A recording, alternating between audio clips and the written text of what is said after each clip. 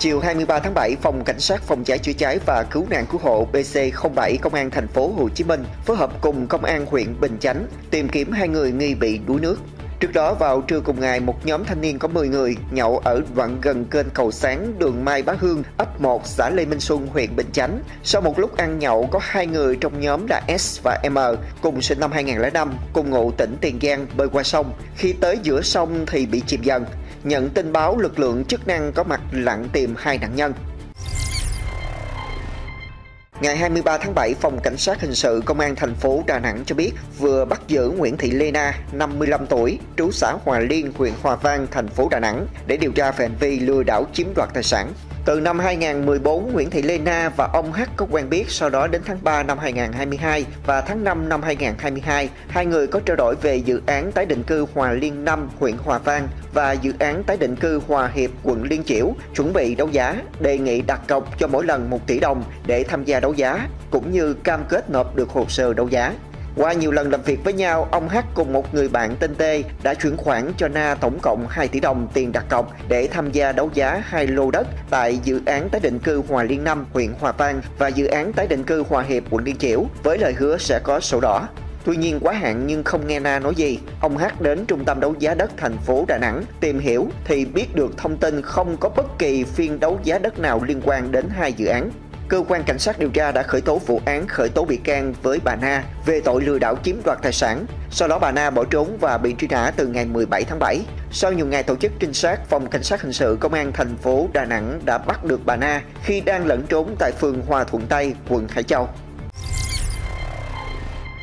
Ngày 23 tháng 7, Văn phòng Ủy ban Nhân dân tỉnh Cà Mau cho biết Chủ tịch Ủy ban Nhân dân tỉnh Cà Mau tiếp tục có chỉ đạo xử lý công trình vi phạm xây dựng, vi phạm hành chính trong lĩnh vực đất đai đối với biệt thự đẹp nhất Cà Mau trên tuyến đường Quảng Lộ Phụng Hiệp, xã Tân Thành, thành phố Cà Mau. Theo đó, Chủ tịch Ủy ban Nhân dân tỉnh Cà Mau Huỳnh Quốc Việt yêu cầu Chủ tịch Ủy ban Nhân dân thành phố Cà Mau tra soát xử lý theo thẩm quyền. Trước đó khi dư luận phản ánh, Ủy ban Nhân dân xã Tân Thành tiến hành kiểm tra và phát hiện công trình được xây dựng tại thửa số 441 và 442 ở ấp 6 xã Tân Thành là đất nuôi trồng thủy sản theo giấy chứng nhận quyền sử dụng đất. Tại thời điểm xây dựng, cả hai thửa đất không đủ điều kiện để chuyển mục đích sử dụng từ đất nuôi trồng thủy sản sang đất ở tại nông thôn do không phù hợp với quy hoạch xây dựng. Sau đó, Ủy ban Nhân dân thành phố Cà Mau đã có quyết định xử phạt vi phạm hành chính 22,5 triệu đồng đối với ông Hồ An Tập là chủ ngôi biệt thự. Tuy nhiên, ngày 10 tháng 3 năm 2023, Sở Tài nguyên Môi trường Cà Mau tiến hành trà soát thì phần lớn diện tích đất mà ông Tập xây dựng biệt thự được phép chuyển mục đích sang đất ở nông thôn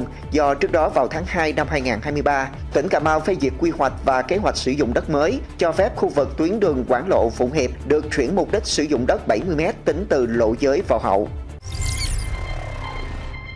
Đại tá Diệp Văn Thế, Phó Giám đốc Công an tỉnh Kiên Giang cho biết, để tăng cường hiệu lực hiệu quả đấu tranh phòng chống tội phạm, nhất là tội phạm kiểu băng nhóm, tội phạm ma túy ở Phú Quốc, lực lượng chức năng và tổ công tác 108 Công an tỉnh Kiên Giang thực hiện tuần tra sáng đêm. Trong đêm đầu tiên ra quân 22 tháng 7, tổ công tác 108 đã phát hiện công ty bảo vệ vệ sĩ Đại Việt có trụ sở ở ấp Bến Tràm, xã Cửa Dương hoạt động chui. Tiến hành kiểm tra phát hiện một xe ô tô chở theo 4 người có biểu hiện nghi vấn. Qua test nhanh tại chỗ có hai trong số 4 người dương tính ma túy. Trên xe còn có hai túi ni lông chứa tinh thể màu trắng nghi là ma túy đá, cân tiểu ly và các tăng vật liên quan.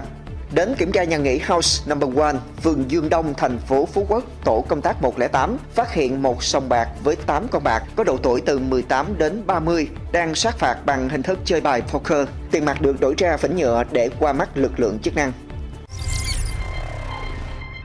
Ngày 23 tháng 7, Công an quận Hà Đông, thành phố Hà Nội triển khai đồng bộ các biện pháp nghiệp vụ, triệt phá ổ nhóm vay nặng lãi với số tiền giao dịch hàng tỷ đồng. Theo đó tạm giữ hình sự Phùng Văn Huy sinh năm 1989 và Đỗ Tiến Thành sinh năm 2000 cùng tạm trú tại huyện Thanh Trì, thành phố Hà Nội để điều tra về hành vi cho vay nặng lãi trong giao dịch dân sự. Công an xác định Huy và một số đối tượng liên quan trong ổ nhóm có hành vi cho vay với lãi suất cao, hoạt động tại nhiều quận huyện ở Hà Nội từ tháng 10 năm 2022 đến tháng 7 năm 2023 với nhiều thủ đoạn tinh vi. Các đối tượng khai nhận đã có thời gian khá dài hoạt động kinh doanh tài chính trên không gian mạng với tỷ lệ 10 ăn 8, cắt lãi trước, trả trong vòng 50 ngày. Khách vay 10 triệu đồng sẽ nhận về 8 triệu đồng, cắt lãi trước 2 triệu đồng, lãi suất cho vay 146% một năm. Các đối tượng không sử dụng địa điểm cố định, không đặt biển hiệu cầm đồ hoặc kinh doanh tài chính thông thường mà sử dụng mạng internet lập tài khoản ảo trên mạng đăng quảng cáo cho vay để khách có nhu cầu liên hệ.